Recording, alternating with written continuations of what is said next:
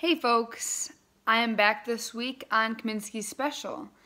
So today's Kaminski Special is actually going to relate back to my previous Kaminski Special, the Macy's Special. So my order came in the mail about mm, maybe like a couple weeks ago, right? And I was pumped. I was like, this is a huge box, like has all my boots in it, great. So I get the box in my house, right?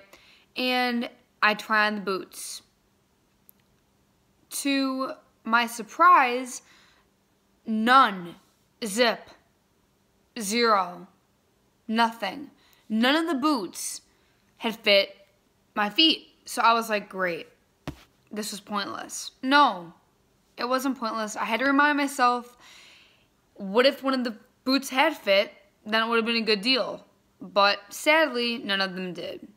So of course that meant that I had to drive to Rockford, even though I already had to go down there for something, but I had to return them, all of them. So I get up to the desk to return them, and the lady's just going through the boxes, you know, checking them, making sure that, you know, they were still fine, whatever. She gets to the last box, and that lady turns to me and she says, I can't take these.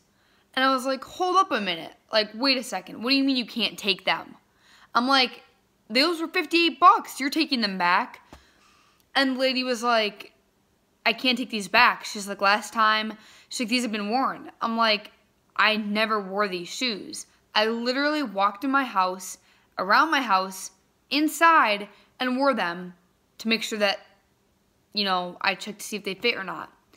And the lady's like, well, I can't take these back. Last time I did, my manager yelled at me. I was like, you've got to be kidding me. So you're telling me that I just bought four pairs of boots and one of the pairs of boots I can't return and get my money back for. She's like, well, you can send them in and you have to pay shipping and all this. I'm like, are you serious? So I wasn't very, I wasn't a very happy camper. I mean, I just paid $200 and I'm only getting $150 back. No, that's not okay at all. So, so basically, I had them sitting here and, um, Hit me up if you want them, though. No. But I actually have to send them back now. So, so some of you might be like, well, that's why you don't order online. No. Not necessarily. I mean, most of the time, everything I order fits me. The thing is, when you buy stuff online, you have to know your sizes. For me, shoes are always pretty pretty sketchy because I never know if they're going to fit or not. But if they do, it's perfect. So it was a good deal. It's just none of them fit.